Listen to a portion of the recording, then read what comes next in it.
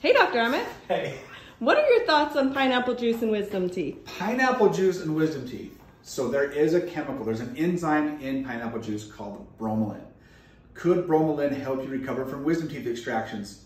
Only maybe. You'd have to drink an insane amount of pineapple juice and it's full of sugar, it's full of lots of other stuff that unfortunately is not gonna do any better than just taking some Advil or following the post-operative care of whoever took out your wisdom teeth.